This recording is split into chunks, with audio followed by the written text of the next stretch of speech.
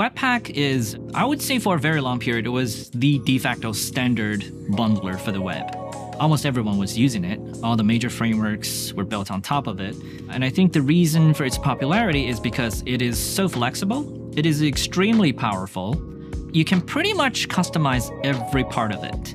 It is designed to be as flexible as possible.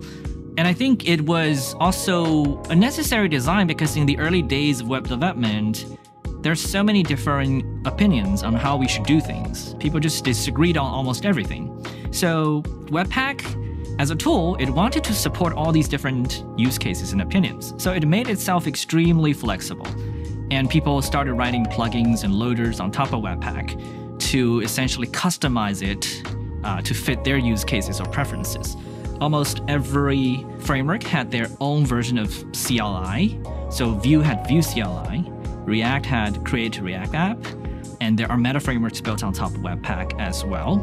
All of them do very deep customization.